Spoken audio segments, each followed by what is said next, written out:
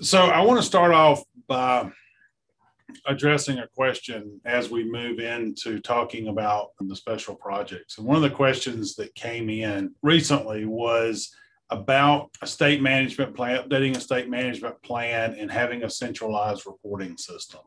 And would EDDMapS be useful for that? And the answer is absolutely. We have states that are already doing it this way, and we'll be glad to work with you to help it work. And that is, I bring that up because that's what tomorrow is about. So today, we wanted to give this overview of EDDMapS, even for the new user or for the experienced user, some of the new things we're doing. And tomorrow is about how EDDMapS is being used in different states, provinces at the local level to continue to grow and aid in invasive species programs. So I hope that helps. I am going to give a short presentation here. My topic was EDDMapS special spinoff projects, but some of these projects, the CIFA model and ISM track, are summed up very good in what you're going to see tomorrow is, is the introductions to the panel discussions. And so I decided instead of focusing on uh, a little bit about all the projects, I really wanted to dive deeper into the Wild Spotter project because I think with the audience that we have looking at um, the registration and the attendees, we've got a broad um, group of people that are on today. And, and thank you all for being here and, and sticking with this all day. But I wanted to really challenge this group and show you what we've done with Wild Spotter. And I said earlier that Wild Spotter was like EDDMapS Light. And Joe brought that up in some of his topics and working with different audiences. We want something um, like Play Clean Go, like Don't Move Firewood, um, like Clean Drain Dry. We need something to get the public engaged. And where for professionals and for trained volunteers, EDDMapS is the solution, and there's tools made for those different audiences. Wild Spotter and where we want to go with Wild Spotter, in my mind, is the next part. It is how we get the public engaged, how we get the public reporting, how we get the public to care about invasive species is a major environmental issue. So I'm going to play this short two minute video real quick. Sorry, it's a video, but it really gives a good overview of Wild Spotter and why it was built. America's wild places are home to beauty, diversity, recreation, and reflection. But these natural treasures are under attack from invasive species, non native plants, pathogens, and animals that outcompete our native species and threaten the biodiversity and health of every aquatic and terrestrial ecosystem. Invasive species are a major threat to hiking, fishing, hunting, climbing, clean water, abundant wildlife, and all the benefits of being outdoors. America's wilderness areas, wild and scenic rivers, and other natural areas are vulnerable to invasion and degradation. But you can help fight back against these harmful invaders by becoming a wild spotter. To defeat these exotic invaders, we need to know where they are, and that's where you and your fellow citizen scientists can help. Download the WildSpotter app on your smartphone or other mobile device, and help us keep a lookout for invasive species when you're visiting your favorite wild places.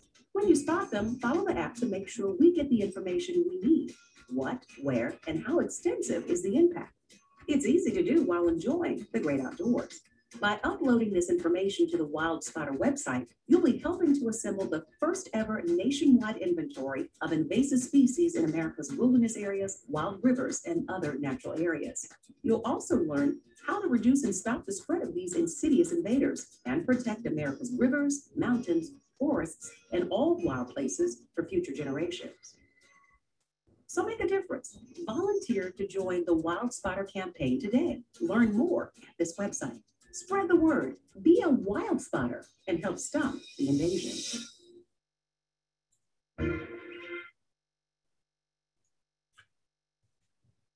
So, and hopefully that came through okay. So, Wild Spotter is not just an app, it's not just a website it as a campaign to focus on educating the public as they visit our national forest initially on what the problem of invasive species are, where they should look for them, and what they can do about them. And so, you know, how is it different than iNaturalist? How is it different than other things? iNaturalist is an app where you can report um, anything and it goes into a database and, and, and is made available. With Wild Spotter, we're trying to educate what the species are, what they should be on the lookout for, and what they can help do with it. And so I want that to be clear. And as I go through this and briefly give you an overview of what Wild Spotter is, remember that part. This is an integrated approach. It's more than just an app, but it's tied into what we've been talking about all day. So the tools that our that our land managers, our states are already using in EDDMapS, all of this data is going in there, but focused on that public audience. So we started Wild Spotter, launched it a couple years ago with some pilot forests. And here's where they were. They're spread out across the, the US and in the different regions of the national forest. We continued and have expanded that. We also worked with Bureau of Indian Affairs and have launched this for some of the tribes in Montana. And then we're starting to expand. And the plan had been that we were going to go national forest wide in 2020. Well, obviously in 2020 things changed and we decided to hold off on on expanding the launch just because of COVID and, and not having some of the visitor centers and all open for the for the national forest. So what we've been doing in that time frame is gearing up.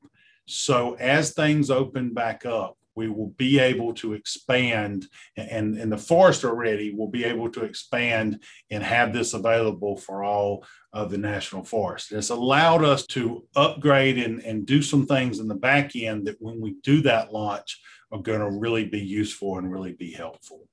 So with the Wild Spotter website, we launched this new website focused, and I'm going to go through and show you a few things about it, focused on really that out facing out, you know, people involved in outdoor recreation. We've created a Facebook group that has over 3,000 um, followers and likes. We've built partnerships with a bunch of different organizations, everywhere from outdoor recreation companies to other nonprofits to the different primary invasive species prevention campaigns. So we've tried to make sure in doing this was not recreating something, but this was working with Play Clean Go. This was working with Don't Move Firewood. This is worth working with Clean Drain Dry. You know, we see the components. I mentioned, you know, it's partly a website, it's partly the EDDMapS platform, but a big part of it is the marketing and the promotion. And so we've done some initial advertising just to get the brand out there in and working with Wildlife Forever in some different types of outlets where people who are interested in being outdoor would come across it and then really trying to focus on ways to recruit volunteers. And one of the short panelist presentations tomorrow is going to talk about some of the experience they had in doing that. And we're trying to personalize everything to the to the national forest. And so this is where the work comes in. This is where it takes building that relationship with the wild place, in this case, national forest, getting the species that are important to them, including those species, looking at what vectors and pathways would be the, the heaviest hit and where people should look for it. And so, just to quickly kind of show you the website, trying to show different people, features the partners as part of it, linking to their websites.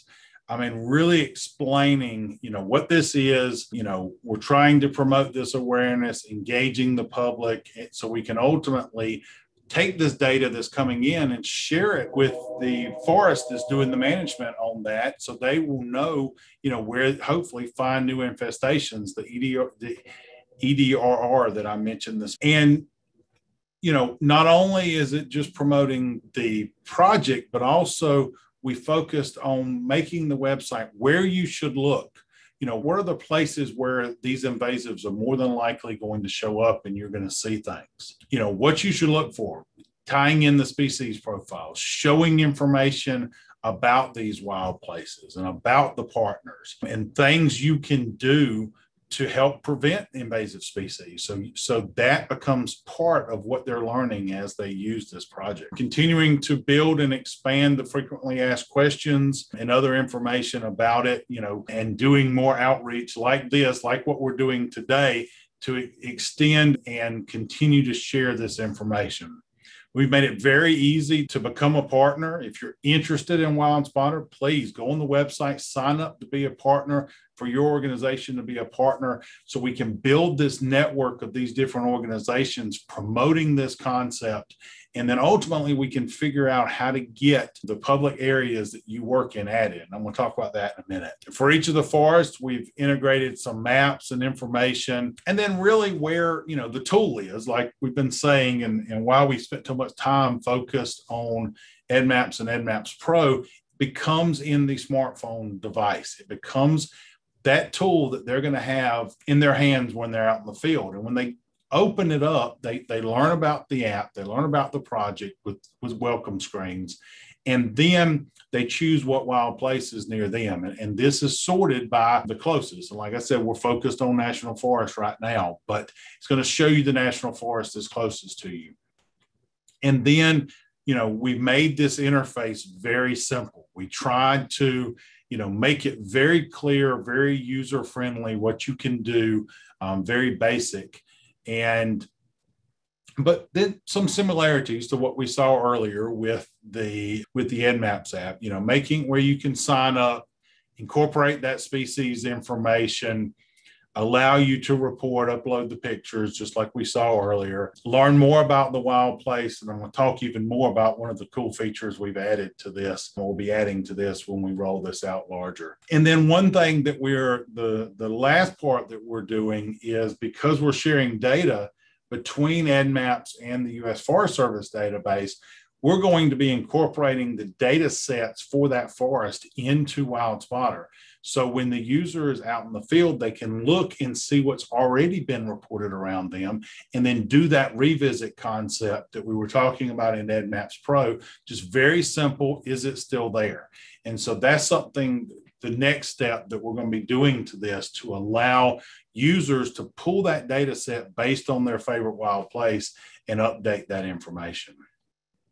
So I mentioned the marketing. We've put together a lot of materials tied along with Wild Spotter to really build the brand, along with the Facebook. And here's really where we've spent some time building these promotional materials and having those available, both with some printed copies as well as as well as downloadable versions that you can pull and and print yourselves. We tested out a bingo at a citizen science conference a few a couple years ago and it was very successful. An invasive species bingo. We actually shared that with one of the national forests, and they used it. But we're also trying to come up with these other kind of, you know, fact sheets and activity sheets, a comparison of the difference between wild spotter and iNaturalist, and looking at when we talk about how big an infestation is, putting it in terms that the public's going to understand. You know, is it the size of a basketball? Is it the size of a car? Is it the size of a school bus?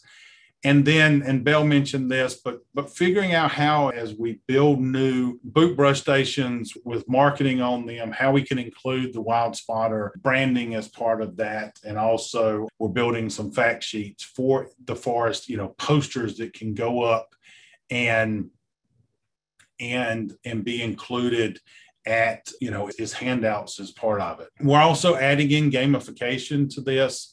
So, and to EDDMapS as well. So, we're going to have badges that are going to show up in the app, you know, to kind of give that reward back to the user. And finally, and this is what's going to be really cool and really useful to the public. So, when you choose your wild place, you're going to be given the option to download the the map of that wild place. And so you will be able to for all the national forests you will be able to pull that in. It will have all the roads it will have all the trails it'll have the campgrounds and, and major landmarks like what you would have on a visitor's map but laid on top of the Google Map interface within WildSpotter.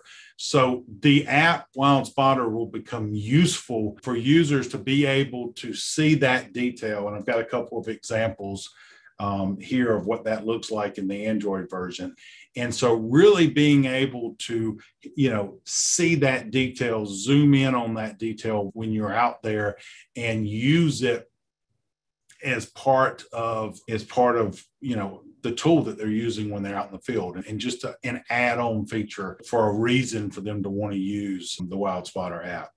So I want to wrap up and, and really say, and I think this will address a, a, a few of the questions as well. We're trying to figure out how we roll WildSpotter out beyond just the Forest Service. And that's something we really um, want to work with groups to do.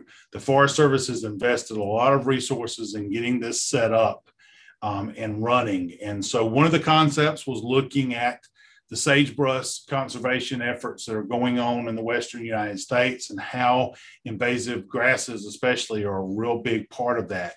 And looking at ways we can partner with the state agencies and the federal agencies to expand and maybe focus on that Western United States and is a starting point. But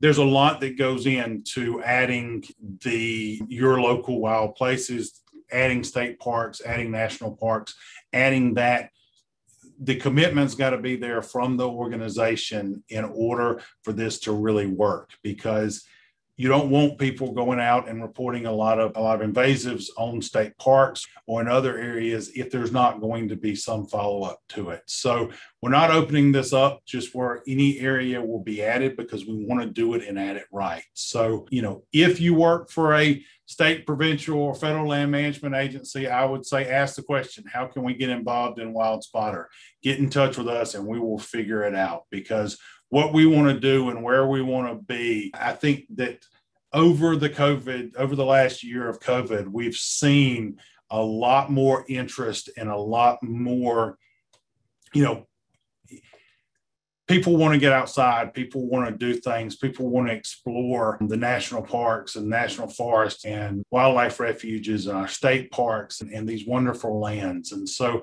let's come together around this wild spotter concept and, and make it the way for the public to help protect our, our wild places. And so with that, we can, and if you have questions about Wild Spotter, then Rachel, who did the, the presentation earlier, will, will be glad to, to help you out with general questions. And please contact me if you're if you want to expand, if you're looking at ways we can expand Wild Spotter into your organization. Thank y'all very much.